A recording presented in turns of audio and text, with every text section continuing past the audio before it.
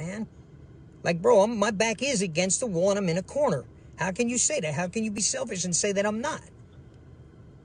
Listen, just then just back up out of it and let me handle it with my attorneys. I've already talked to them about it. They already know everything.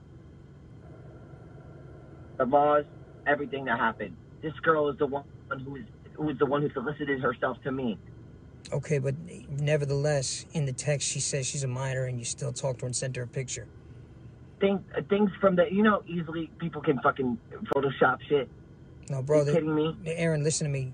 As your friend, there's no API equipment involved. I checked it out.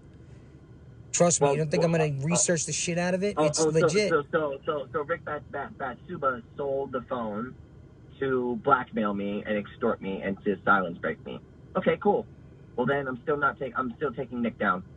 okay, but pass you along the message. listen, forget Nick. This ain't about No, Nick. no, no, no, no. This ain't about Nick, I'm bro. I don't taking talk.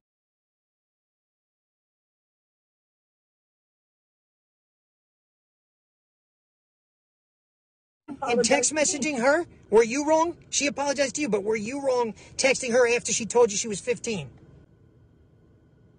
Was I wrong? Yeah, your accountability is a big deal to me, bro.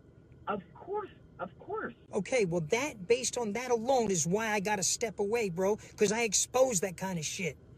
I'm still